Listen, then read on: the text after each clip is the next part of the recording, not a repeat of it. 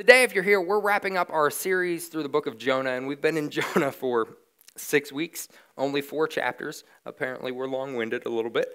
Um, but we're going to be wrapping it up, and, and I want to talk about something that's pretty important um, to an overall understanding of the Bible, right? And here it is. I'm going to boil it down to one sentence, which I don't often do. Uh, Jesus is the hero of the story.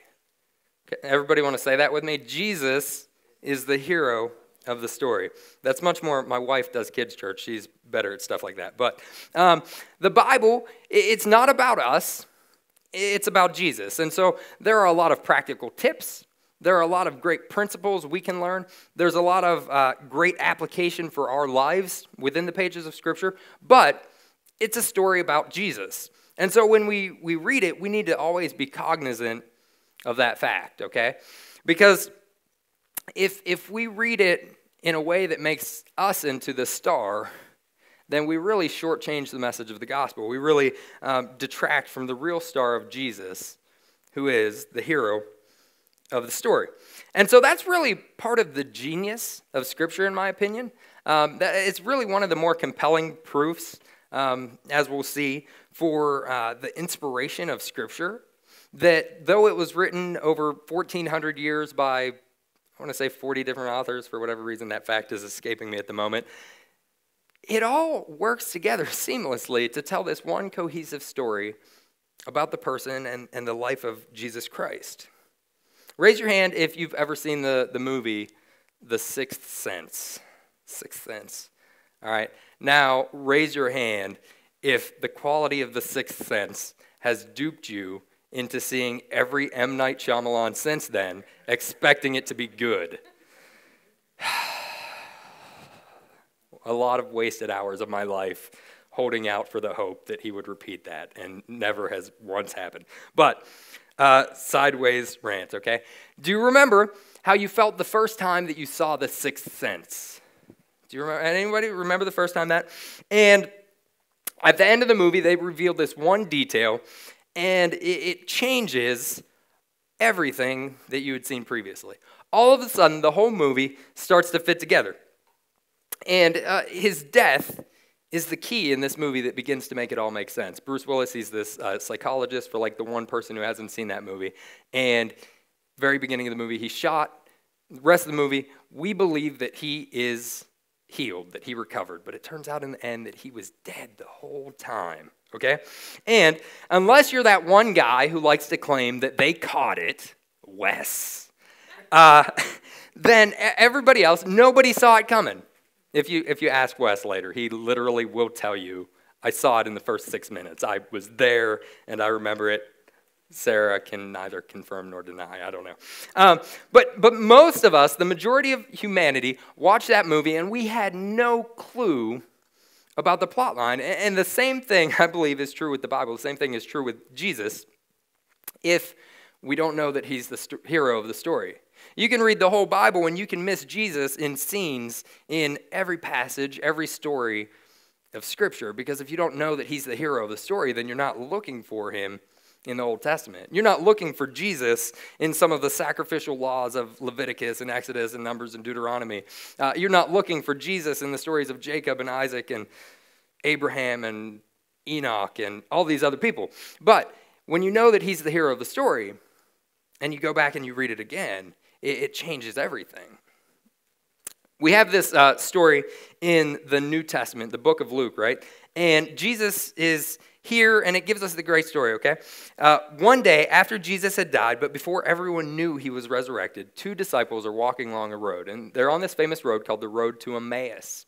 And these disciples are kind of uh, shooting the breeze. They're kind of uh, sad because their Messiah or would be Messiah had just died. And suddenly, Jesus appears beside them. Now, we know it's Jesus because we're the readers and it says Jesus appeared beside them. But these guys had no idea.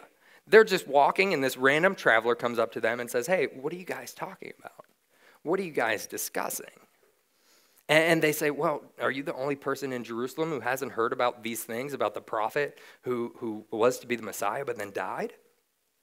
And Jesus suddenly reveals himself to them and says, I am, I'm Jesus. and they were blinded to it. They, they hadn't seen him, they missed him. Luke 24, verse 27 says it this way it says, And then, beginning with Moses and all the prophets, he interpreted to them in all the scriptures the things concerning himself. See, they, they had missed Jesus. Uh, literally and, and figuratively, right? They had missed him in the Old Testament. And Jesus, he begins talking with them, and it's a pretty long walk, apparently, because Jesus just begins breaking down from uh, Genesis to, uh, they didn't really have Revelation, to Malachi at the time, and saying, I was there, and, and that, was, that was me. And when they were talking about that, they were talking about me. See, he's, he's the hero of the story. And he's the key through which all of Scripture finds its fulfillment and, finds its meaning. And when you realize this, it, it, changes everything. It changes how you read the Bible. Like the, the two guys on the road to Emmaus, or like all of us, and many of us anyway, who, who saw the sixth sense, and all of a sudden you, you watch that flashback at the end, and you're like, oh, that's why his shirt looked funny, or that's why the wedding ring wasn't there or was there. All of a sudden, these things start to make sense. Sorry, I'm very passionate about that movie. And, and you see a lot of connections that you hadn't seen before. And so, with that in mind, I want to close out this series of, of Jonah by looking at, at the similarities between Jesus and Jonah. You see, Jesus is in every way a better Jonah. Jesus is the true and, and better Jonah, in fact. If I'm not going to reread the story, but I want to highlight some of the details, okay? Just if you haven't been here all six weeks and you're not like a, a Bible scholar, haven't been reading Jonah with us, I will recap. Whoa, that was amplified, I'm sorry. I will recap quickly. Jonah, he was a prophet uh, who was called by God in Jonah chapter 1 to go to the nation of Nineveh and to warn them of their impending destruction. The Ninevites were his enemies, right? And so he, he initially ran from that calling. He boarded a ship and he went far away from the mission that God had called him to. While he was sleeping in that ship in the beginning half of chapter 1, a great storm came upon the ship. And, and the solution at that time to calm the storm and save everybody's life was to throw Jonah into the sea. This was Jonah's idea. It wasn't, the sailors were actually good guys in it. And Jonah, after being ca- tossed over the boat into the sea, he was swallowed by a giant fish. For three days, he stayed in the belly of this fish. And reluctantly, after the fish miraculously spat him up on ground, uh, he went on with the mission that God had told him to. God had said, You know, you disobeyed me, I'm going to swallow you with a fish and spit you back on ground. And that was enough to reset Jonah. So he reluctantly goes to Nineveh to tell them. But secretly, we saw he was hoping for their destruction. In fact, after Jonah stepped into Nineveh, he's like, oh, You guys need to repent or you're going to die. He walked away and he camped out on a hill, secretly hoping that God would like throw down some fire and brimstone, okay? And God rebuked him. So that is the that is the synopsis, okay? Very elementary synopsis of the book of Jonah.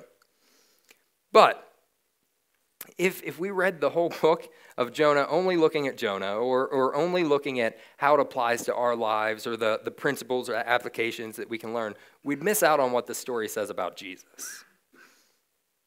See, as Jonah was sent to save an evil nation, so Jesus came to save humanity.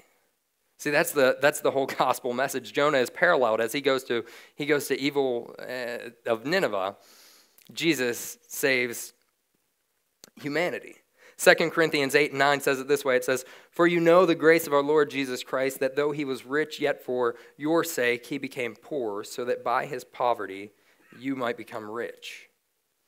Jesus didn't come reluctantly, but he willingly laid down his life. He willingly laid down his divine nature to take on human flesh in the incarnation, and, and he was born a, a baby. He didn't run from his mission, he embraced it. He took it on willingly. Later, when Jonah he, he fell asleep in the hull of the ship, we saw a direct parallel, and I talked about this, I believe, in the second message of the series, that um, there's a direct parallel to the life of Christ that the gospel writers put in there. See, in, in Mark 4, Jesus has this very similar circumstance. He too is sleeping in a boat. The disciples had had a long day, and Jesus was, preaching, and they cast out on the shore or on the lake. And when they're there, Jesus is sleeping in the hull of the boat, and this giant storm comes on. And the disciples, in a very funny fashion, they, they go down and they shake Jesus and they say, Jesus, wake up, we're, we're dying, we're the boat, don't you care about us? And Jesus, he kind of wipes the sleep out of his eyes and walks to the front and says, like, quiet to the wind. And all of a sudden the waves die down. And he rebukes the disciples and say, says to them, Why were you scared, you of little faith? See, Jesus, in, in his circumstance, when he was sleeping in the boat, he was sleeping because he had full confidence of his place in God. He, he was sleeping in a place of full faith in who God was and what his plan and his purpose for his life was. Jonah, when we saw him sleeping in the boat, he was sleeping because he was kind of in a depressing funk. Like Jonah was running from the mission of God, and, and the, the dialogue reveals that he was at a place in his life where he really didn't care one way or the other. In fact, when the sailors wake him up, he says, Yeah, go ahead and throw me in. God will probably relent if he kills me.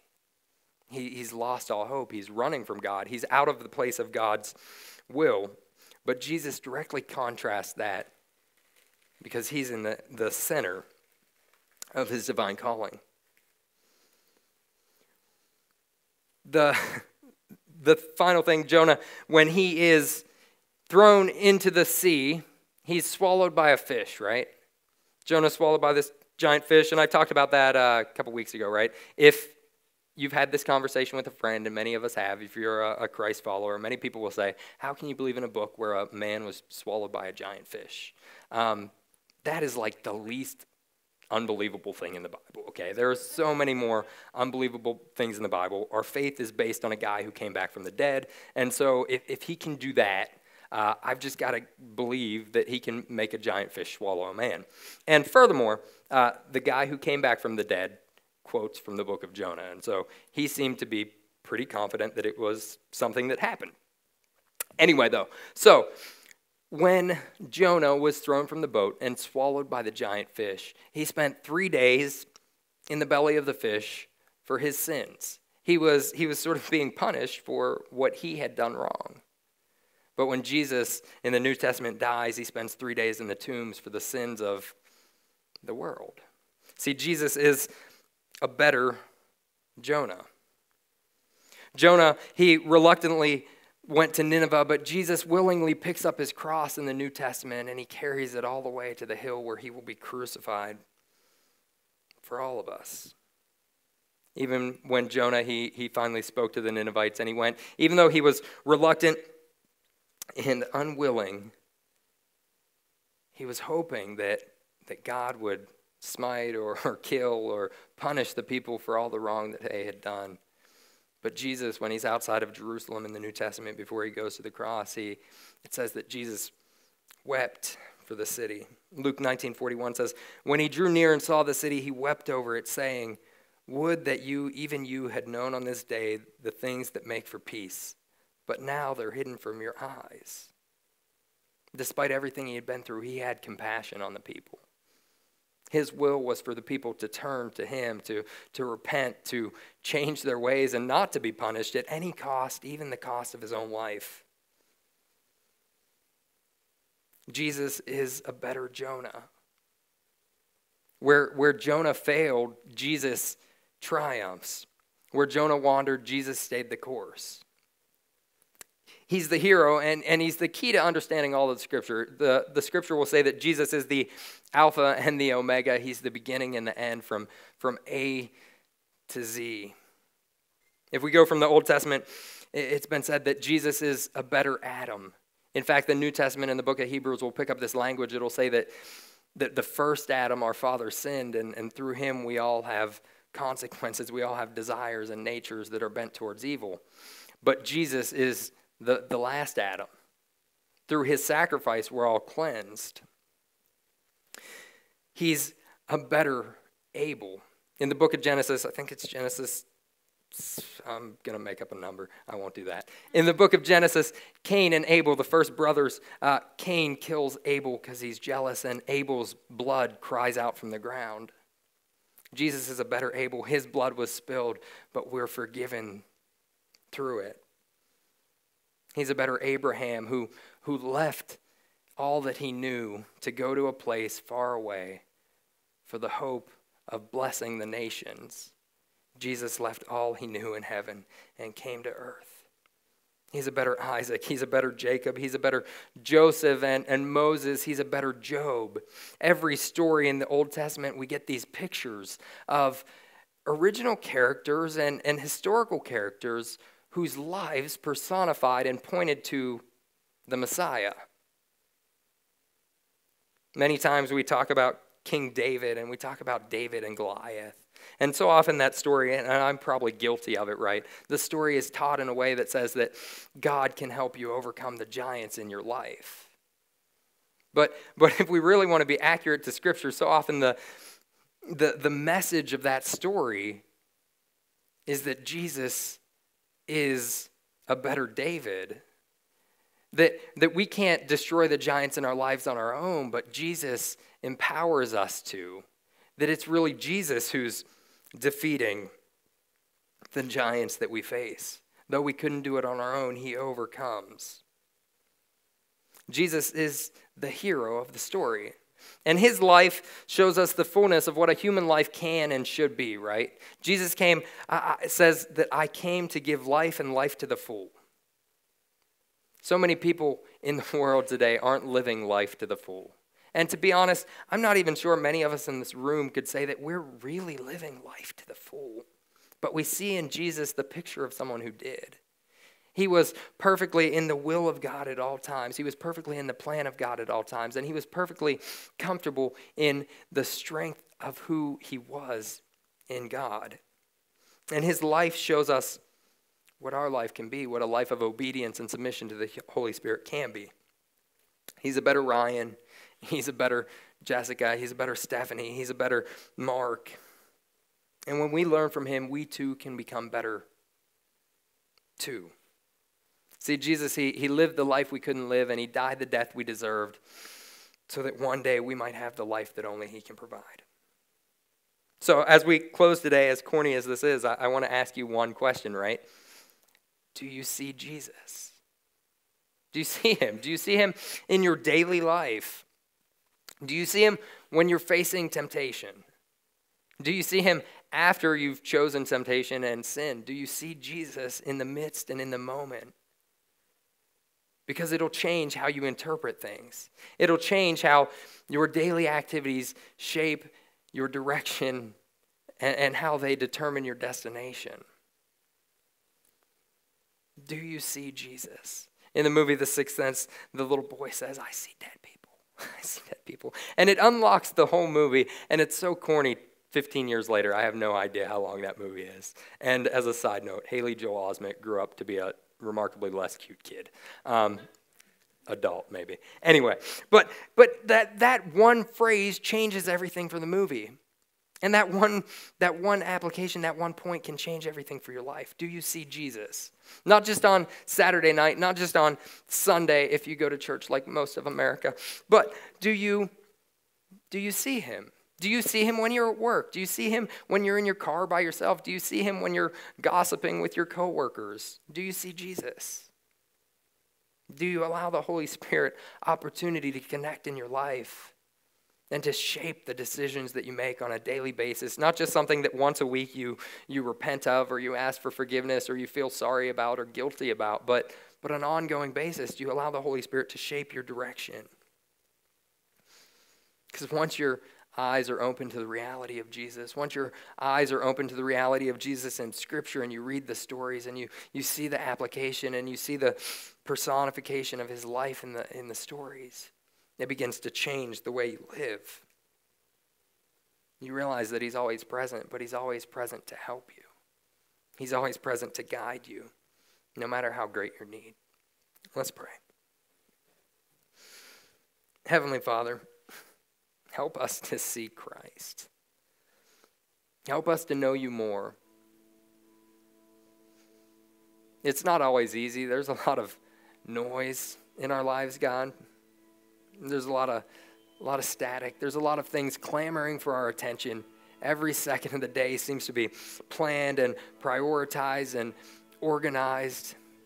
And if we're not careful, sometimes there doesn't seem to be any room for you. So often we, we live our lives focusing on the urgent. We live our lives focusing on what's pressing or, or what we've prioritized, and, and we're not careful, we can leave out the things that are most important. We can leave out space to connect with the divine. We can leave out space to feed what is eternal. God, I pray this week as each of us leave this room that you would guide us, that you would inspire us, that you would direct us and speak to us in a new way, in a mighty way. And I pray for each and every person in this room, God, that the conviction of this message would, would fall in their life in a small way. That's not necessarily something I pray for often, God, but I pray that this week, as they leave this place, that your Holy Spirit would do something in their lives.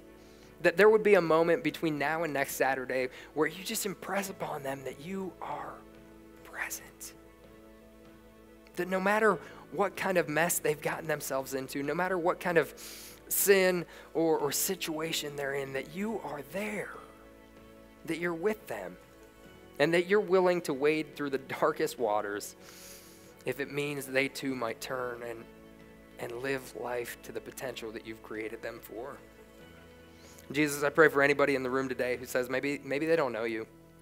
Maybe they've lived a life away from you. Maybe there was a time in their life where they used to follow you, but if they're honest, it's been a long time. If that's the case, I just want to give an opportunity for anybody who's here today who just wants to take a step of faith and say, you know what, I, I want to connect with God. I want to reconnect with God. If that's you, nobody's looking around, every head is bowed and every eye is closed. Just slip up your hand. It's a, a step of faith. It doesn't save you, but it's a small action step that says, you know what, I'm serious about this. Today's going to be different. Today's the day I make a choice to move closer to Christ. Heavenly Father, we praise you. You're a holy and awesome God. Thank you for your grace. Thank you for your spirit. Thank you for the opportunity and the freedom we have as citizens of this country to come before you, to worship you freely, and to speak about you boldly, God. May this week be the, the fullest week in our lives that we've ever experienced, God. Help us to enjoy the holiday, to enjoy our family against all odds, to enjoy the food. In Jesus' name I pray. Amen.